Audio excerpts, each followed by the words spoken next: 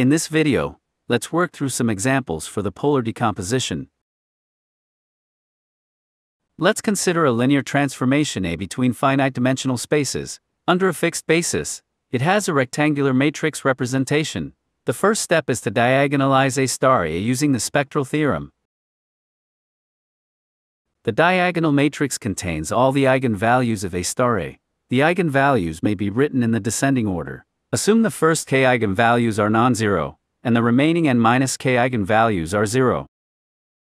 This means that in general, A star A is not necessarily invertible.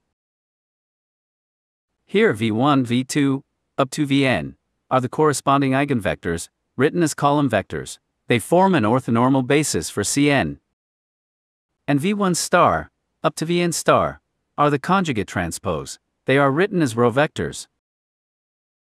With these notations, A star A is written as a weighted sum of rank 1 orthogonal projections. There are only k terms in the summation, since the last n minus k eigenvalues are 0. Next, define the polar of A as the square root of A star A. This is done by taking the square roots of the non-zero eigenvalues of A star A. The diagonal entries, lambda 1 up to lambda k, and the zeros, are the singular values of A. The polar of A has the spectral decomposition, written as a weighted sum of rank 1 projections as well. We need to define the so-called pseudo-inverse of the polar. The reason is that the polar of A is in general not invertible, because of the zero singular values, the pseudo-inverse means that we only take the inverse of the non-zero singular values, and leave out the zero entries in the diagonal. This gives a spectral decomposition of the pseudo-inverse of the polar of A. Next, the partial isometry W is given by A times the pseudo-inverse of the polar.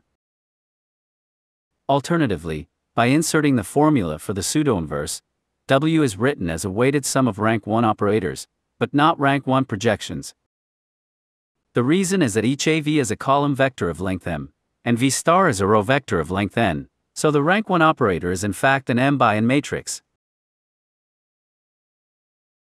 Finally, the polar decomposition of A is W times the polar of A. Remember we have the spectral decomposition of the polar of A, as a weighted sum of projections. W is a partial isometry from the range of the polar of A onto the range of A it will be helpful to check that W star W is the projection onto the range of the polar. On the other hand, WW star is the projection onto the range of A.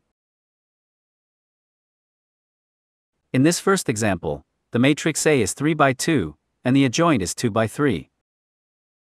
This gives A star A as a 2 by 2 matrix. Notice that the sum of the columns is 9, 9, and the difference is 1 minus 1. This gives the eigenvalues and eigenvectors. The eigenvectors are normalized. Define the singular values of A. Lambda 1 equals 3, lambda 2 equals 1. Then the polar of A has the following spectral decomposition. Insert lambda 1, lambda 2, v1, and v2. Because the eigenvectors are normalized by the constant 1 over square root of 2, in each of the rank 1 projections, there is a constant 1 half.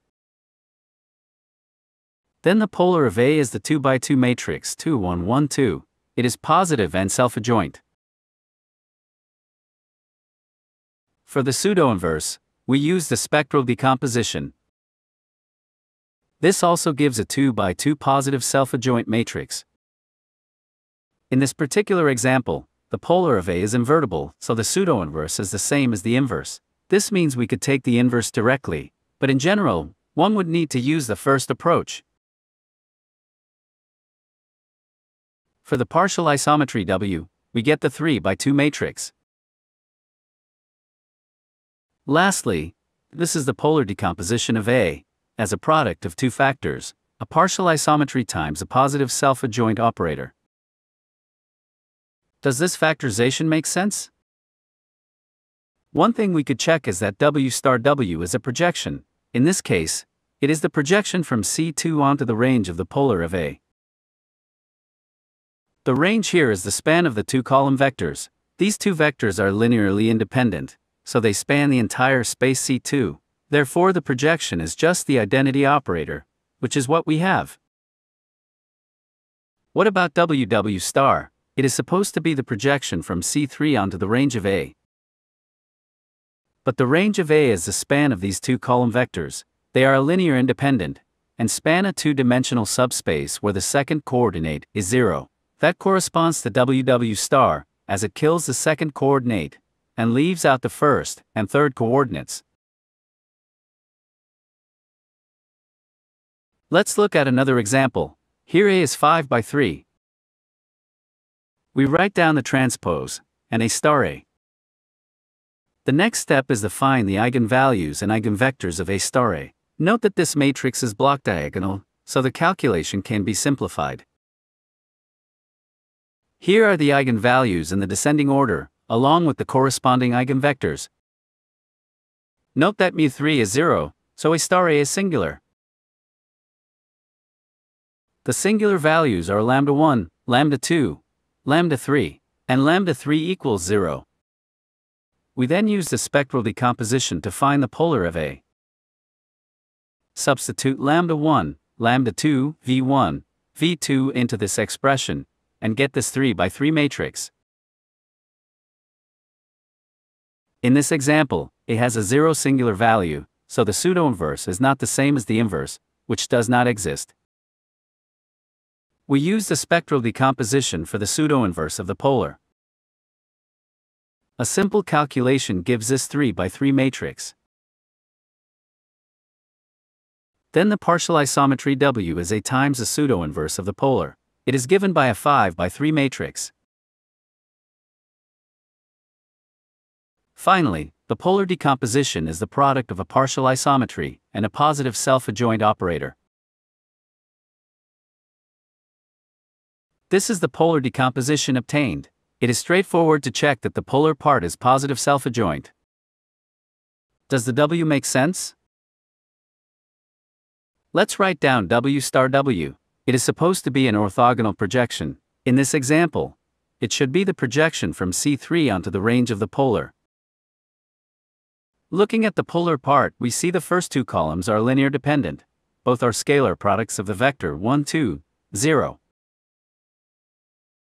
Therefore, the range of the polar is spanned by these two vectors. It is a two-dimensional subspace of C3. Note these two vectors are orthogonal. Now we may write down the projection, and compare that with W star W. It is the sum of two orthogonal projections, corresponding to the two column vectors in the range of polar. This is indeed the same as W star W. Let's also check WW star. It is supposed to be the projection from C5 onto the range of A. In the matrix A, the first two columns are linearly dependent. This means the range of A is the span of these two vectors. It is a two-dimensional subspace of C5. Again, the two vectors are orthogonal. So let's write down the projection from C5 onto the range of A, and compare that with WW star. Using the fact that the two spanning vectors are orthogonal, this is equal to the sum of two rank 1 projections. Lastly, this is indeed equal to WW star.